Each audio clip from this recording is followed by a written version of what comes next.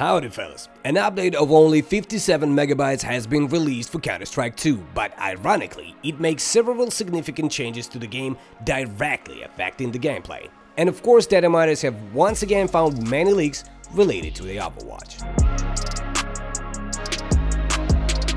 The first and most important change is the addition of an option to adjust dynamic shadows in the graphic settings. Now you can choose whether shadows will only be cast by sun or from all light sources. In terms of performance, this is a gift to all owners of weak PCs. However, Shadows from different light sources give players an advantage when you can anticipate where the enemy will come from. The second new feature concerns changes to the player panel, located at the top of the screen.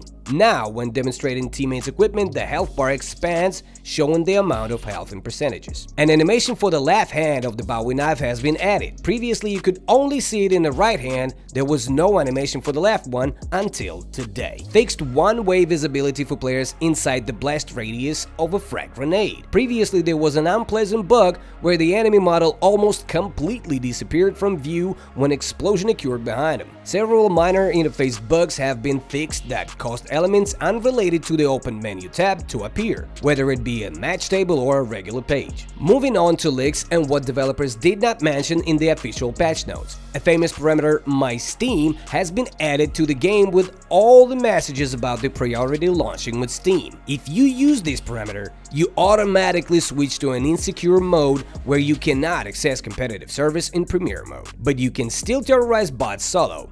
This will be useful primarily for those who work in CS2 tools and test their creations. A parameter related to recording your match demos was found in the game files, designed to divide your recorded game into intervals that are later used for the best moments of your match. This indicates the imminent appearance of the long-awaited button for the best and worst moments of the player. But this same feature should work for the Overwatch, as developers mentioned in their own patch notes. So doubts about the existence of proper functioning of the Overwatch are growing stronger. Most likely, the Overwatch never existed and even unseen super secret partners did not receive it. Alternatively, the Overwatch did exist, but matches had to be watched in full instead of a specific clip, but knowing Valve, we naturally lean towards the first option. Last but not least, let's see what's happening in Chinese CS, the stronghold of true gamers. 在满级中国玩家手里，任何东西都可能变成核武器，比如我们童年中的呃玩具枪，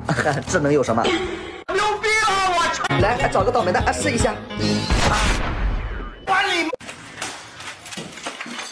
Now go hit the like button, subscribe, follow us on every social media, and watch me streaming on Twitch. That's it for now, folks. I should get going.